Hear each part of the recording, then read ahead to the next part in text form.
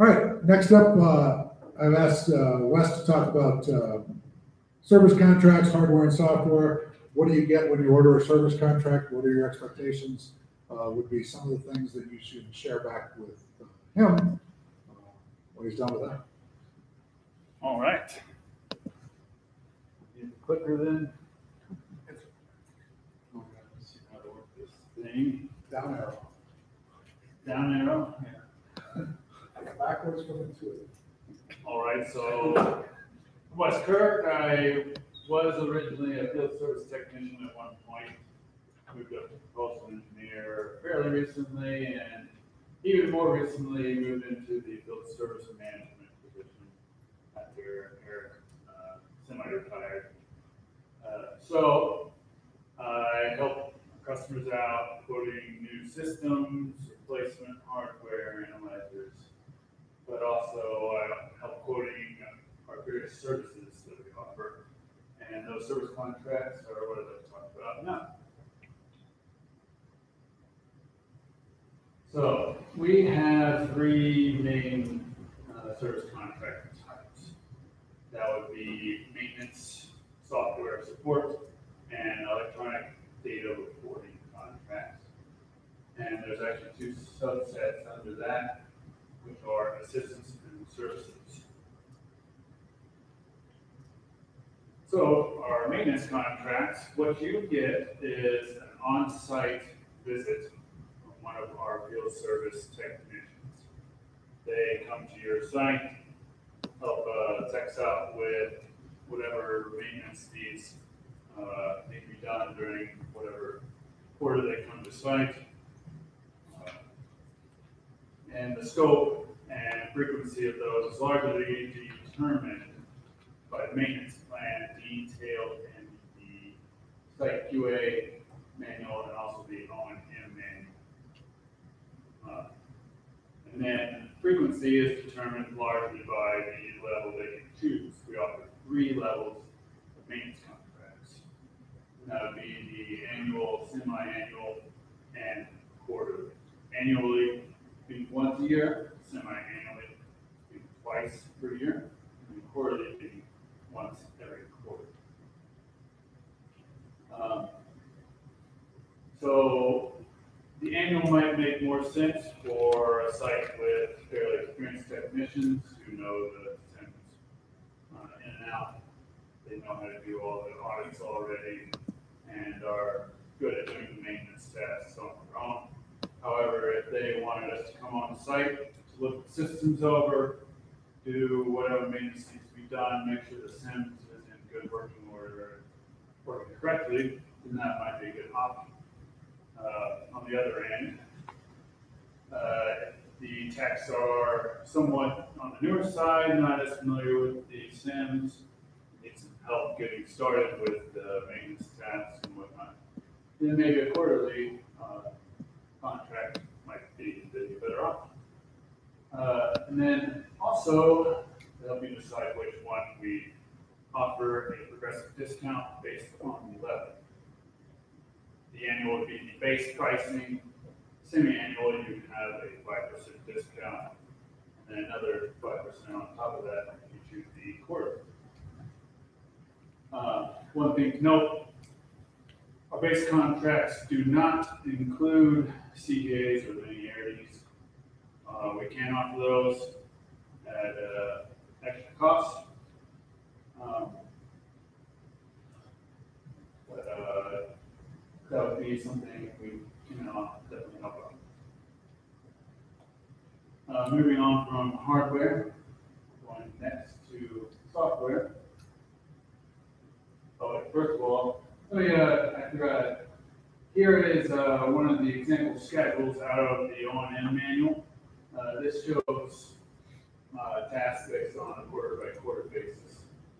Say if, uh, you got the annual maintenance contract, we would skip straight to this month twelve here for every single possible maintenance task needed. That would include up to rebuilding the probes, uh, even up to cleaning heat sample lines, depending on your process. Uh, if you went with a semi-annual contract, we would then just do month six and then month twelve. We basically opt for the highest level of maintenance, depending on how often we go to site. Then at quarterly, we obviously follow this schedule as listed. Some, here are some of the maintenance procedures that we would do. However, there's an- another list similar to this with maintenance tests. Uh, we like to test the alarms, uh, things like that to make sure everything is working properly. Exercise flow meters, different things of that sort. Uh, And then, like I said, early moving from hardware to software, our next contract type would be software support. Uh, with this, you get, uh, phone as well as potentially remote support. You can call us with any potential concerns, questions, problems. Uh, we can help you out with those. Say if you have a communications error or something isn't reporting quite right, uh, you can always call us up and we'll be there for, uh, any support you need. Uh, Also included in the software support contract would be any, minor version upgrades. Uh, so we're currently in two four, somewhere around there. Uh, seven point two five would be most likely a free upgrade. Uh, some major updates such as CDR five to six, CDR, uh, six to seven have been included in uh, software support contracts for free in the past. However, with CDR four, that would require a major database upgrade. So the amount of work, time involved in that would be extensive. And so you would have to come to us for a quote for that. That would not be included in the software support contract. Uh, next up, uh, included would be software configuration changes. If you have, say, a limit change, or if you want something to display somewhat differently on your emissions table, you can contact, contact us and we would be able to help you out with getting that updated. Um, Also, the custom report building, uh, we do have a wizard, but if you don't want to bother, we can always help you build a custom report based on what you need to see. Three seventy-five X updates, that's our part seventy-five reporting tool, those are included in the software support contract. And lastly, EDR assistance, which brings me to my next one. That's our electronic data reporting contract. Uh, these are part of part seventy-five. This is a quarterly requirement, uh, where you have to submit reporting and QA documents to the, uh, emissions collection and monitoring plan system, or ECMPS. Uh, And then we have two levels offered under these EDR contracts, and that is services, as I said earlier. So EDR assistance, this is limited support. Uh, you can contact us with questions, um, anything you need to get help with, uh, building reports, pulling data, submitting the to Yes, However, you're still required to do a large part of the work. Uh, So this is available on annual and quarterly options, this time annually being every four quarters, or, I mean, all four quarters. The quarterly option is, uh, one quarter at a time. Um, this is a good option for, uh, new users of ECMPS, those with more knowledge, uh, so we can help you get through, uh, reporting to, uh, EPA. Uh, If you're more inexperienced with this, or you have a unique, a unique scenario such as, uh, like-kind analyzer exchange, you might wanna go with our EDR services. That is where we do everything for you, basically. We do the heavy lifting.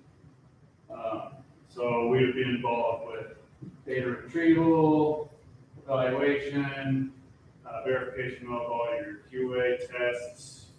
Uh, we would then build the XML, um, files, submit them to ECMPS, review it in there, make sure there's no major errors. And then, once that's all done, we would give back control to you for formal submission to the EPA to the ECMPS. Uh, This would be good for new users who aren't quite sure what to do yet. We can take care of everything for you. Or if you don't have time potentially, don't want to deal with the hassle, this would be a good option. Again, uh, in a quarter with unique, unique scenarios such as an analyzer replacement, and replacement, not quite sure what to do with the reporting, we can step in and help you out during that quarter. Um, So that would be ER services. Uh, So that basically includes all of our services. Um, So if you need to get in contact with us, you can either email me or orders, and we'd be happy to give you a quote for any of these options. If you're interested in pricing of the different uh, versions, don't hesitate to give us an email. Um, Be happy to help you out, keep your CEMS running smoothly.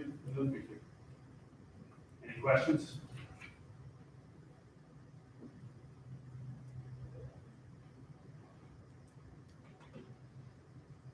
All right,